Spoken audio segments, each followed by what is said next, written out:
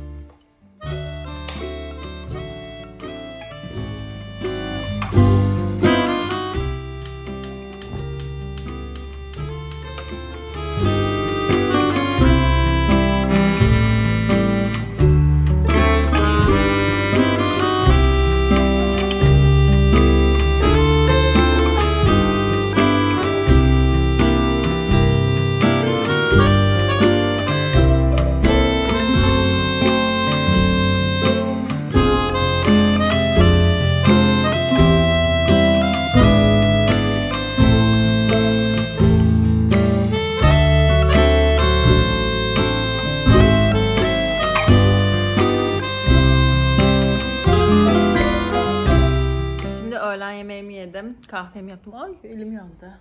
Dur. Kahvemi yedim. Hızlıca e, kargoları vermeye gideceğim. Bugün yapılacaklar. Kargoları vereceğim. Market alışveriş yapacağım. Kendime söz verdim. Bugün e, evde spora başlayacağım. Yani ben hep şey diye düşünüyordum açıkçası. İşte çok düzenli yürüyoruz şu ara Batu'yla akşamları. E, yürüyüş zaten spor. Bu arada gerçekten yürüyüş spor yani ona bir şey demiyorum ama benim sanırım evde de biraz esneme, kas yapma gibi şeylere ihtiyacım var. Vücudumun ihtiyacı var. Çünkü yoga yaptığım dönemleri zaten paylaşıyorum sizinle hepiniz Instagram'da yoga yaptığımda. Ee, yoga yaptığımda vücudum esniyor. Böyle bütün kaslarımın sanki gevşediğini hissediyorum. Ve güçlendiğimi hissediyorum. Veya e, böyle kas yapıcı şeyler, antrenmanlar yaptığımda yarım saatte olsa, 20 dakikada olsa vücudumun gerçekten güçlendiğini ve daha sıkılaştığını hissediyorum. Bu da bana iyi geliyor. O yüzden sadece yürüyüş değil, evde de bir şeyler yapmaya başlayacağım. Daha sonra bir YouTube videosu çekmek istiyorum. Aklımda birkaç konu var. Konuları hep yazıyorum artık çünkü sonra unutuyorum. Ee, bu aralar biraz şeye taktım. Hani düzenli olacağım düzenli yazacağım, yaz planlayacağım. Hep böyle çünkü insan aslında planlamadığında gerçekten boşluyor. Yani boşluyor dediğim yapmıyor. Hakikaten yapmıyor planlamadığında. O yüzden planlı olacağım ve planlarımı tikleyeceğim, yapacağım.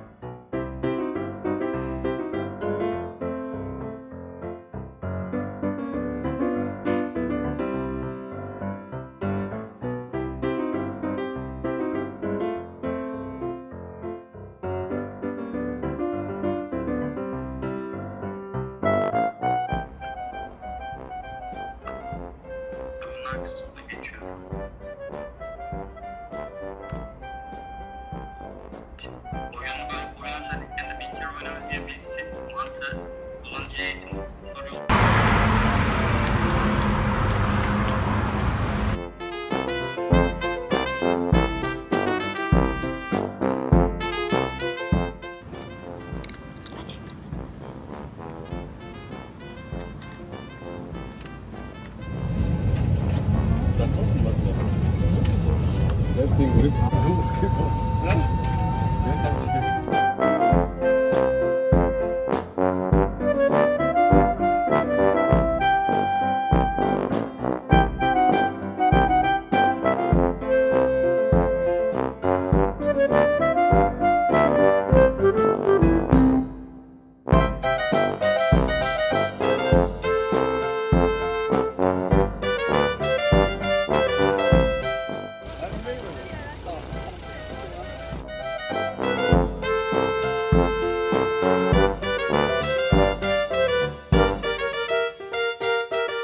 Uzun bir aralık konuşmadığımı fark ettim ve kısa bir özet geçmek istedim. Mustafa ile Gökçe'nin düğününe geldik.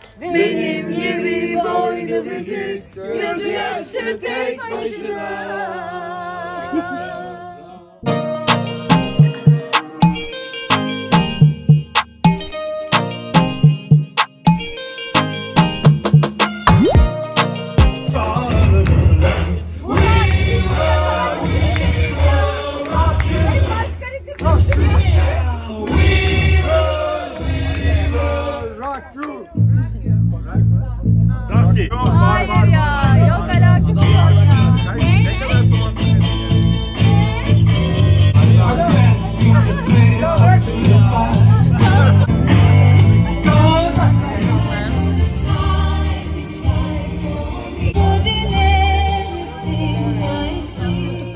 telifini de kabul etmiş oldun şu anda. Tabii ki de.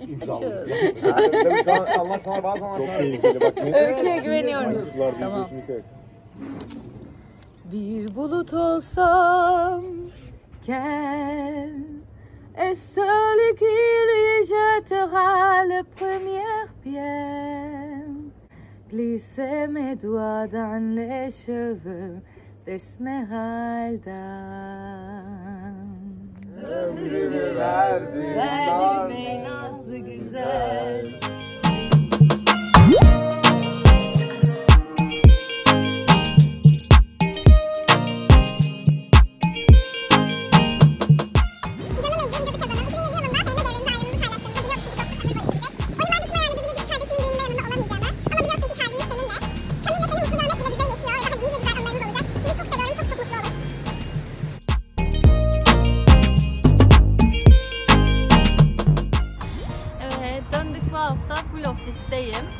anda gelip gidiyorum. Böyle hızlı hızlı küçük küçük kesitler paylaşmak istedim sizle.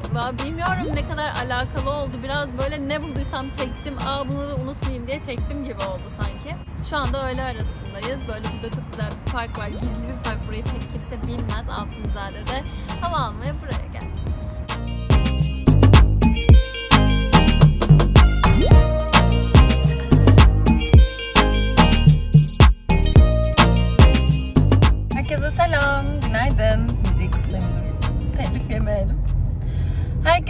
selam, günaydın. Ee, işe gidiyorum.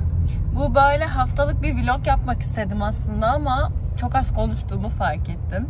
Birazcık da açayım, konuşayım, sohbet edeyim, özleşmişizdir diye düşündüm ve şu anda işe gidiyorken açtım sizinle bir yandan konuşayım dedim.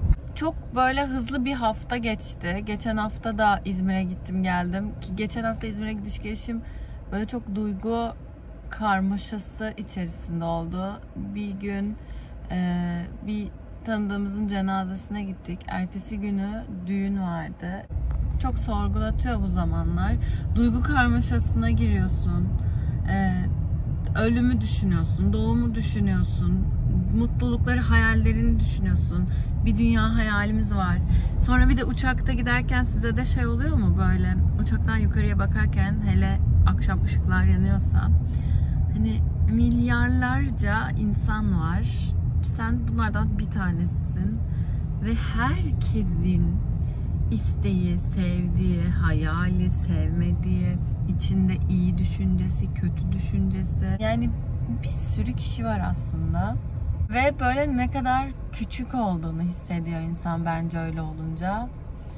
Ne kadar dünyanın büyük olduğunu, bazen böyle anlamsız olduğunu. Yani çok bu tarz şeyler yaşayınca bunlar tabii daha çok düşünülüyor. Sonra ikinci gün normal herkes e, dünyevi hayatına devam ediyor tabii ki. E, ateş düştüğü yeri yakıyor birçok konuda veya mutlu olan da kendi mutluluğunu yaşamaya devam ediyor. Ama böyle şeyler bana mesela şey yapmaktansa ee, tamam dünyaya bir gün bir kere geldik dedirtmektense aslında